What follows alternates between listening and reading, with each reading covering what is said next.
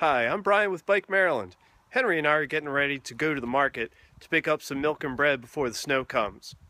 But before we go, before we get on our bikes, these next seven seconds are going to make sure we get there safely and without any interruptions.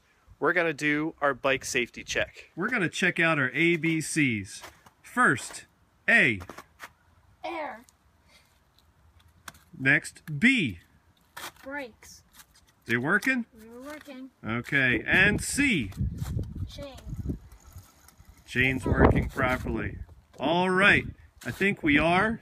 Ready to bike. That bike safety check can make the difference between you getting to your destination safely and having to stop and fix your bike on the way. If you do that safety check every single time before you ride, you're going to make it every time. Now you know how to be ready To bike. to bike.